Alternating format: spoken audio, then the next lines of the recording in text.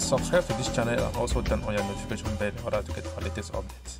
man call me say na sagat say be general. He say paka moyuka.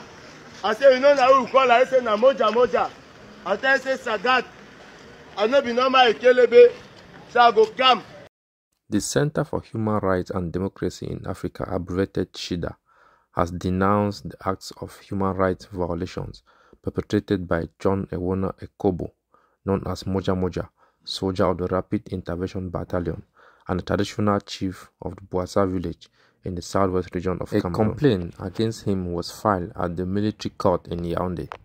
On August 20, 2022, a group of lawyers led by Mr. Amungwa Tanyi Nicodemus and Mr. Tamfu Gaba were summoned to the Central Judicial Research Department of the National Gendarmerie. The purpose of that summon was to confirm the complaint filed with the military court in Yaoundé against the name John Ewome Ekobo, better known as Moja Moja. He is a soldier of the Rapid Intervention Battalion, the B, and also a traditional chief of the Boassa village. He is accused of torture and abuse of office.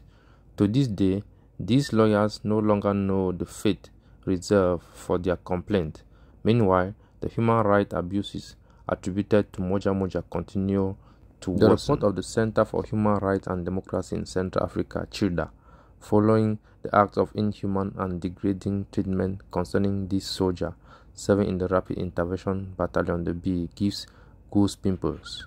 In the report, we learned that the soldier, known as Moja Moja, has a certain court martial in Buea, where he inflicts inhuman and degrading treatment on the men and women of the city. In that report, published last week, the CHRDA reviews numerous cases of inhuman treatment suffered by men and women of the Southwest this year region. from June to November 2022. At least 40 cases of acts of barbarism have been recorded. Some victims still show signs of physical trauma. The CHRDA report explains that Moja Moja's modus operandi is unprecedented.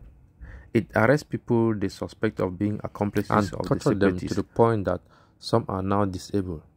According to the Cameroon Web, for the past three months, the state allows these acts of violence to violate all natural laws and conventions ratified by Cameroon on the respect In of human rights. Article 2 of the International Convention on Civil and Political Rights, which provides states parties to this pact undertake to guarantee that any person whose rights and freedoms recognized in this pact have been violated will have an effective remedy, even though the violation may have been committed by persons acting in the exercise of their official functions. The Center for Human Rights and Democracy, headed by the lawyer Agbor Balla, noted that the acts of inhuman and barbaric treatment attributed to Moja Moja are well known to the administrative and judicial authorities of the Southwest region.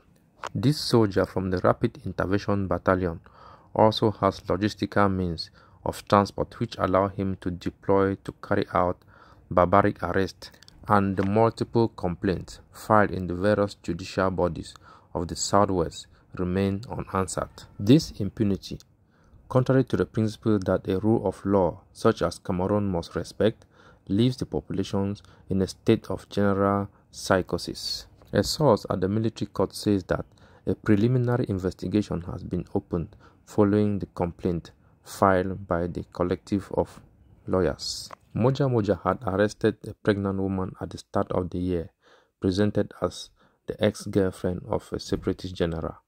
The lady had spent several months in detention before being released. The Center for Human Rights and Democracy in Africa, headed by Felix Agbor Balla, has written to the United Nations Committee against torture